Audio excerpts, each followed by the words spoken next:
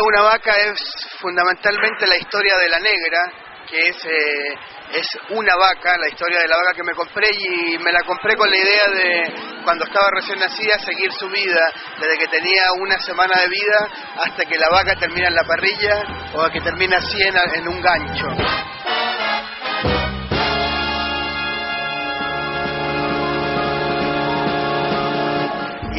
Al final me empezaron a escribir de muchos países, no pueden matar a la negra, ¿cómo vas a matar a la vaca? Los lectores iban pidiendo el libro casi online y ellos iban decidiendo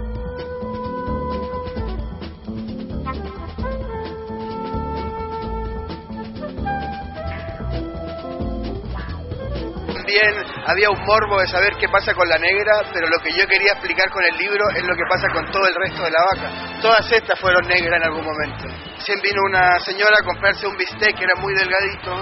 Eh, eso, eso es lo que sucede en casi todos los países.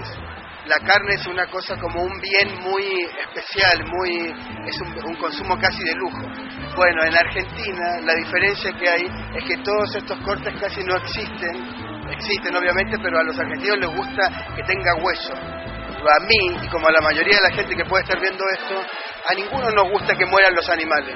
A nadie le gusta que mueran los animales. Bueno, pero también a todos nos encanta la carne. A todos nos encanta un buen lomo salteado que hay acá.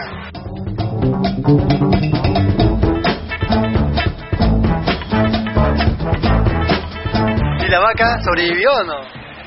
la vaca, eh, el destino de la vaca, me decía una, la mujer de Juanjo La Juría, que fue un argentino que me vendió la vaca, que me ayudó a criarla, que no te preocupes tanto por el destino de la vaca, porque no existen cementerios de vacas. Todas las vacas terminamos comiéndolas.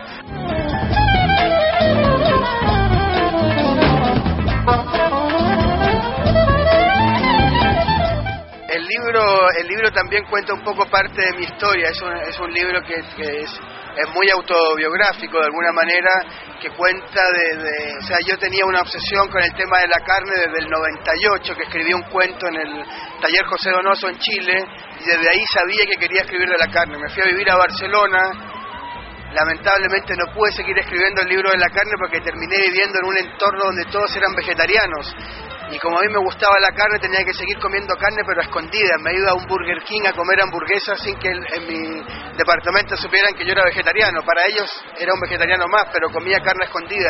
Y quería seguir escribiendo de la carne, hasta que me enamoré de una argentina, terminé viviendo en Buenos Aires y me fui a Buenos Aires por el lomo y terminé en el país de las vacas.